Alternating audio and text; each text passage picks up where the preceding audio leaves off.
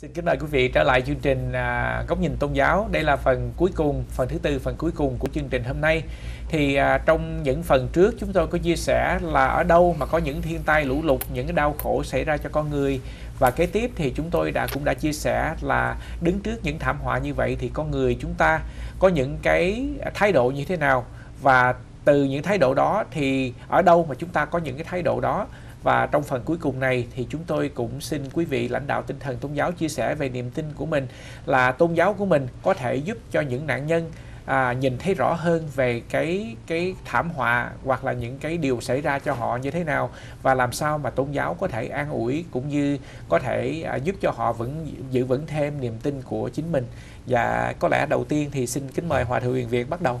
Dạ vâng. Cảm ơn cha, cảm ơn quý vị, thưa quý vị à, phải nói rằng người tin Phật á à, có ba cái hạnh mình mình chọn một trong ba cái hạnh. Thứ nhất á, là đức tin. Qua đức tin mà à, vượt à, thắng cái nỗi khổ của cuộc đời có nghĩa là à, tiến tu cái cái cái cái cái đạo của mình đó hai là vấn đề tinh tấn siêng năng tích cực.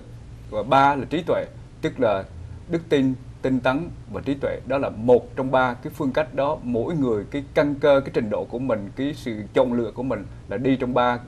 một trong ba. Nhưng mà cái đức tin thì nó đòi hỏi cũng phải siêng năng tinh tấn và cũng đòi hỏi phải có trí tuệ. Và người có đức người có tinh tấn thì phải có uh, đức tin và phải có trí tuệ. Người có trí tuệ thì phải có đức tin và tinh tấn. Tức là cái nào là cái vượt trội thì đó là cái hạnh của người đó hạnh trí tuệ hạnh tinh tấn hạnh đức tin do vậy khi một người có được cái đạo nghiệp ở trong lòng của mình rồi thì tất cả những sự thay đổi bên ngoài, cái thân, cái cái mạng sống của mình đã thay đổi, cuộc sống mình thay đổi, cái thế giới thiên nhiên nó thay đổi, nó làm cho mình vui hay làm cho mình buồn, tất cả những cái đó như cái nó chấp nhận nó như cái đang là nhưng mà mình sẽ trở về mình sống với cái đức tin à, à, nếu mà mình cái hạnh mình là hạnh đức tin mình sống với cái hạnh tinh tấn nếu hạnh mình hạnh tinh tấn vượt trội nếu cái hạnh hạnh trí tuệ. Nhưng tất cả cái đó được quyền lại để có thể sống giữa cuộc đời ờ, vươn lên giữa cuộc đời. Dầu là cái nghiệp dĩ trong quá khứ của mình nó nặng nề tới đâu nữa thì cái sự ờ, đức tin tinh tấn và trí tuệ vẫn tiếp tục đi tới để bỏ lại cái sự khó khăn phía sau và có những cái điều tốt đẹp uh, chờ đợi chúng ta trước mặt thì có như vậy thì chúng ta mới mới sống mới vượt qua cuộc khổ cái khổ còn không á chúng ta ăn miếng ngon vô thì chúng ta vui quá đi chúng ta ăn dở là chúng ta buồn quá đi chúng ta được chúng ta vui quá chúng ta mất chúng ta vui quá chúng ta sống chúng ta vui quá chúng ta chết chúng ta buồn quá như vậy điều đó nó không phù hợp với một người sống đức tin do vậy chúng ta hãy trở về với đức tin của tôn giáo dạy chúng ta phải làm gì Dạ vâng, cảm ơn thầy. À, xin mời Hòa, à, một sư Hồ Việt. Dạ, Mỗi người chúng ta trong đoạn này có 2 phút. Dạ, à, tại thì, vì cái lần dạ, dạ chúng ta được thượng đế dựng nên và cái câu hỏi của mình là, ủa, vậy thì thượng đế dựng nên tôi với mục đích gì đây? Nếu mà tôi phải chịu một cái cơn bão như vậy hoặc là tôi sống một đời này rất là đau khổ, đó, thì không có gì thỏa lòng hết, rồi thì vậy thì Chúa dựng nên tôi như thế nào đây? Thì rõ ràng là Đức Chúa Trời là đấng tốt lành, và khi Chúa dựng nên loài người là có có có một cái liên hệ với con người. Cho nên con người cần phải có một mối liên hệ với thượng đế mà muốn liên hệ với thượng đế thì con người đã phạm tội và hư hỏng, cho nên người xa cách thượng đế và không hiểu thượng đế. Cho nên thượng đế có một con đường lối để giúp đỡ con người trở về với thượng đế và giải quyết vấn đề tội lỗi qua Chúa cứu thế Giêsu và và Chúa Đức Chúa Trời đã hy sinh, trên cái nói là vì Đức Chúa Trời quá yêu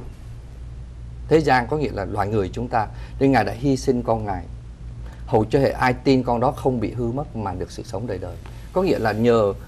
Chúa Giêsu là đấng vô tội chịu chết trên thập tự giá chuộc tội cho loài người. Con người được tha tội và trở về với Thượng Đế. Và khi con người trở về với Thượng Đế, con người khám phá ra tất cả những cái nguồn phước hạnh và nguồn vui vẻ và cái cái những cái gì mình đang có là từ Thượng Đế mà đến và con người vui thỏa với Thượng Đế và vui thỏa với cái mối liên hệ với Thượng Đế và liên hệ với thế giới xung quanh và cả với những người xung quanh mình nữa. Thì đây là cái mục đích của Thượng Đế tốt lành là loài cho loài người thấy được cái cái sự phước hạnh của họ khi họ liên hệ với thượng đế với những người xung quanh biến đổi họ trở nên tốt chứ không có xấu và họ có có thể sống với thượng đế trong cõi đời đời.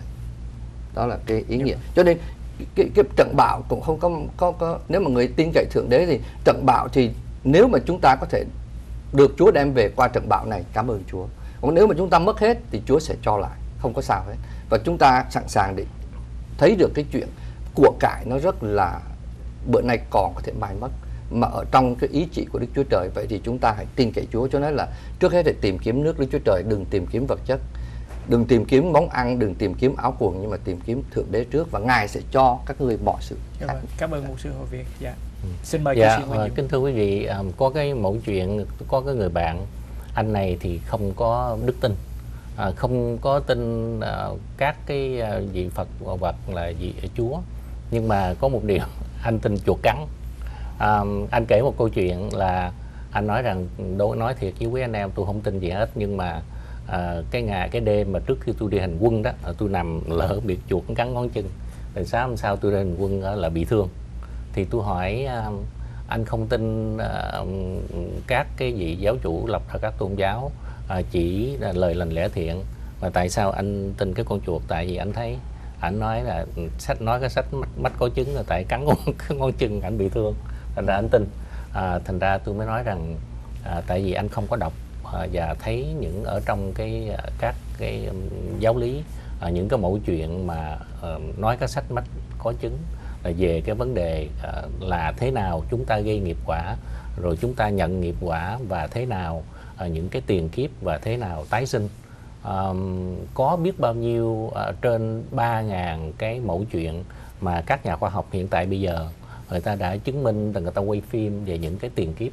ờ, của những người sống ở nước này qua cái nước kia và những cái tiền kiếp ngay cả đã đối với ở Việt Nam. Ờ, cái cô bé như ý cũng vậy là cổ cũng nhận soi căn của được là có biết ừ, trở kiếp này của cổ là kiếp thứ ba. À, do đó thì đó là những cái nhân vật sống những cái nhân chứng để từ đó để làm chứng minh cho à, cái đức tin và kính thưa quý vị à, trong cái nhân quả và trong cái nghiệp báo à, ở mỗi thời kỳ mỗi giai đoạn à, ơn trên cho chúng ta có cái sự chọn lựa. Thì chúng ta hãy chọn lựa cái việc lành việc thiện à, mang những cái công đức phụng sự hiến dân cho những người xung quanh và những cho tha nhân. Thì đó là một cái tăng trưởng thì nó lợi cho người lợi mình. Thì đó là một cái đức tin và chính vì đức tin đó hình thành một con người tốt và con người tốt người tốt đó là cái mộng ước cho tương lai. Dạ vâng, và còn đối với chúng tôi, tôi chúng tôi nghĩ cái à, điều quan trọng mà có thể an ủi cho những vị à, bị đau buồn trong lúc này, thật sự thì nếu mà chúng ta mất mát của cải, chúng ta rất là đau buồn, à, đặc biệt là nếu mà những của cải đó là những cái tài sản mà tích lũy từ biết bao nhiêu năm năm nay phải làm việc cực nhọc mà bây giờ đã mất hết và ngay cả những vị mà đã bị mất mà, mà thân nhân của mình thì cái niềm đau đó là, là vô cùng. Nhưng mà tôi nghĩ là cái điều mà tôn giáo có thể à, giúp đỡ chúng ta nâng đỡ trong lúc này điều thứ nhất tôi nghĩ là chúng ta quan trọng làm sao chúng ta có cảm nhận được cái tình thương à, thứ nhất là tình thương từ thiên chúa đến với chúng ta. Bởi vì chỉ có tình thương mới lấp đầy những cái đau khổ được mà thôi và chỉ có tình thương mới lấp đầy những cái khoảng cách à, trống rỗng trong tâm hồn chúng ta khi mà chúng ta mất mát những cái tài sản của cải như vậy và chúng ta được có cảm nhận được tình thương đó của Thiên Chúa khi chúng ta có thể kết hợp được với Ngài.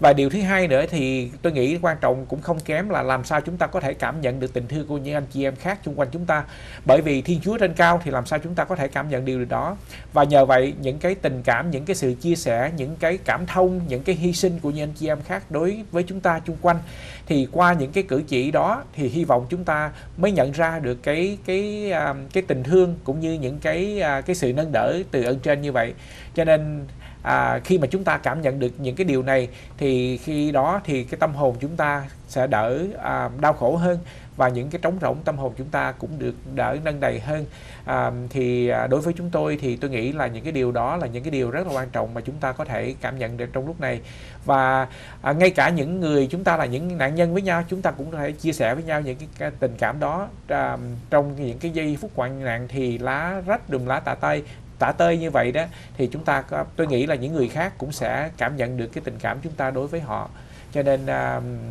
à, chúng tôi cũng cầu xin lên trên. Và nhiều khi mà nhiều khi chúng ta có thể nhận ra được những cái điều này nhờ cái sự cầu nguyện cũng như nhờ cái niềm tin chúng ta ban ơn trên ban ơn lành để chúng ta có thể cảm nhận được những cái điều này. À, cho nên chúng tôi cũng hy vọng và chúng tôi cầu xin ơn trên ban nhiều ơn lành để mỗi anh chị em chúng ta có thể nhận ra được tình thương à, ở từ trên ban xuống cũng như tình thương của anh chị em chúng ta dành cho nhau. À, có lẽ để kết thúc chương trình thì chúng tôi à, à, có một cái lời nguyện kết thúc. À, xin mời hòa thượng Việt thay mặt cho anh em để dâng là một lời cầu nguyện. Kính thưa quý ngài và thưa toàn thể quý vị ờ, thành phố của chúng ta và tiểu bang của chúng ta chẳng vậy mà Florida cũng mới vừa xảy ra thiên tai. À, trong cái thiên tai à, ngập trời đó con người thật nhỏ bé.